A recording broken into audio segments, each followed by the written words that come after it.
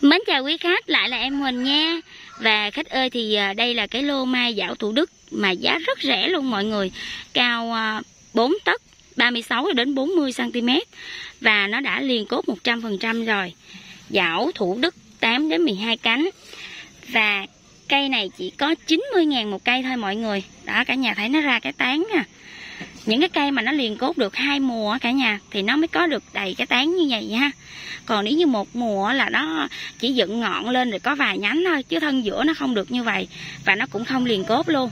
Thì đây là một cái điểm đặc biệt, một cái điểm để cả nhà mình có thể so sánh giữa một mùa và hai mùa ha. Và cái củ cả nhà là nó cỡ như ờ, to ngón út của quỳnh à, cỡ ngón áp út. Có cây thì cũng cỡ ngón út ha. Và đây cái mặt hoa nè cả nhà xem nè. Đó, cái bông hoa thì nó có bông thì nó bốn ngón tay có bông thì nó cũng lớn hơn bốn ngón tay quỳnh. Nó rụng hết cánh rồi. À 10 10 10 cánh ha mọi người. Từ 8 đến 12 cánh. Và cái loại này á cả nhà nó có ưu điểm á là cả nhà mình về dễ chăm lắm. À, cái phân này giá thể nó cũng vẫn còn để mà chất ăn của nó nên không cần phải thay liền. Về chúng ta chỉ cần tưới dưỡng rễ cho nó hàng tuần.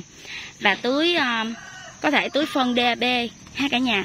Còn nếu mà Tết nay muốn chơi á thì chúng ta tưới kali tím còn nếu chúng ta không muốn chơi để cho nó nuôi nuôi cho nó lớn tạo tán cho nó thì cứ tưới phân DAP ha và những cái cây như thế này cả nhà mình chăm rất khỏe trồng rất là dễ trồng nó liền cốt rồi mọi người không có phân thuốc gì nhiều đó. thì à, ba cây là em Huỳnh sẽ bao phí vận chuyển 90 ngàn một cây ha và 10 cây thì Quỳnh sẽ tặng cho cả nhà mình một cây đó. rồi à, cây như thế này ha đây em đo cho cả nhà mình xem nè. 36 cm nha cả nhà. Rồi có một số thì 4 tấc nữa nhưng mà 36 là nhiều ha. Củ đế á thì à, cả nhà mình xem ha. Em mời cả nhà mình xem nè. Củ thì có lò xo đứng nè. À, có cái kiểu như thế này. Có cái kiểu à, cái kiểu này quái quái nè quỳnh cũng không biết diễn tả sao nữa. Rồi đây. Đó là xo ngang. Đó những cái kiểu này thì à, nó phát triển và nói chung là nhìn rất là duyên cây lớn nó duyên lắm mà cả nhà.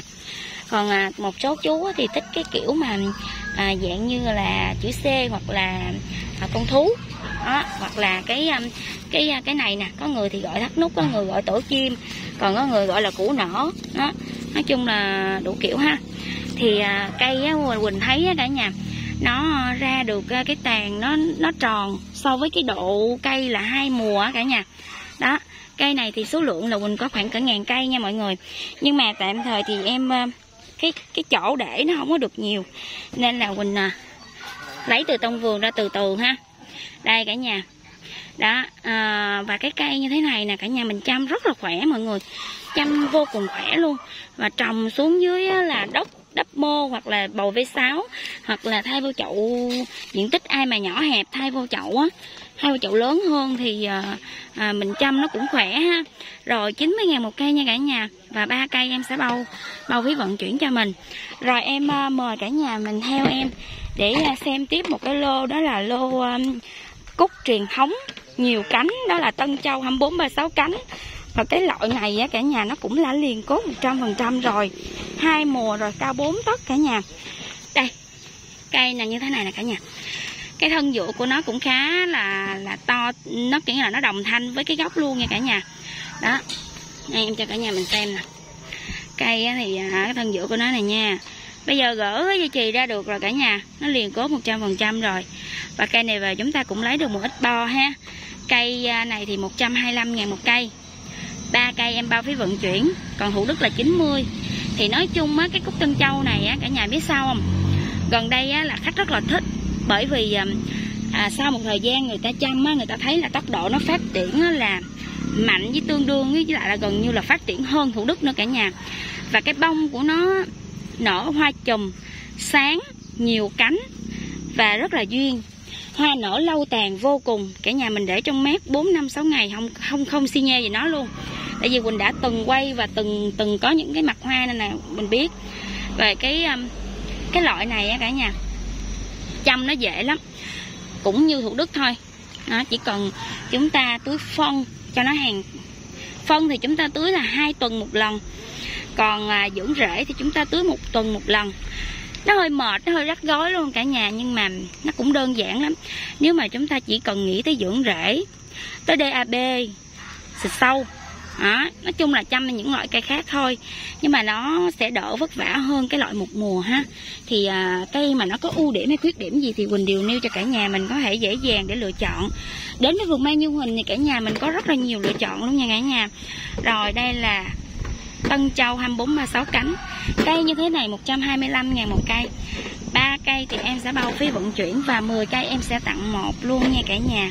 Củ đế thì nó rất đa dạng cũ thì có đây nè em quay như thế này nè. Mỗi người có một cách nhìn quỳnh cũng biết diễn tả làm sao cho đúng nữa. Đây. Đó, nhưng mà nó rất là đẹp nha mọi người. Đó.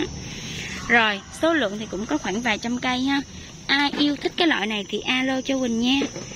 Rồi đây là Tân Châu ha. Có người gọi Tân Châu cả nhà. Có người gọi là cúc 24 36 cánh Cũng là nó luôn. Đó cả nhà thấy không? Rồi ha Đây là chậu v Chậu này là chậu 6 nha mọi người. Ở hai mùa ha. Rồi em à, xin kết thúc video ở đây Và hẹn gặp lại cả nhà mình ở video sau. Mình còn rất là nhiều loại cúc nữa cả nhà. Nếu như cả nhà bấm kênh đăng ký Thì cả nhà có thể à, từ cái đường lên mà xem được rất là nhiều cái à, cái giống mai cúc dạo bên vườn mai của Quỳnh ha. Em à, cảm ơn cả nhà mình đã ủng hộ Quỳnh thời gian qua và xem hết video. Em mến chào và hẹn gặp lại.